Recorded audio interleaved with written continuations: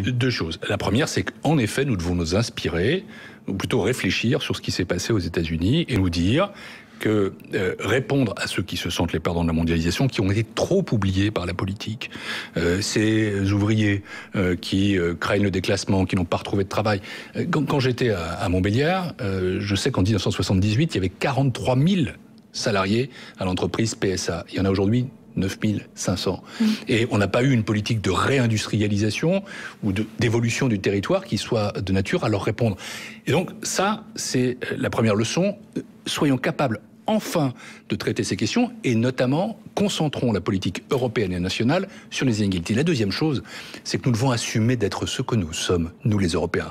Nous ne sommes pas les États-Unis de Donald Trump. Nous sommes différents. Nous sommes des économies ouvertes et nous sommes des sociétés ouvertes. Des économies ouvertes, ça ne signifie pas ouvertes à tous les vents. Il faut être capable, par exemple, de revisiter nos accords de libre-échange, mais ça signifie quand même... Le CETA, tel qu'il a été fait, le traité avec le Canada, vous n'étiez pas pour Je suis pour le ah, CETA. Je pense en même temps que s'agissant du traité transatlantique. Euh, il fallait poursuivre la négociation tant qu'il y avait un interlocuteur. Là maintenant, je ne sais pas s'il y en a encore un.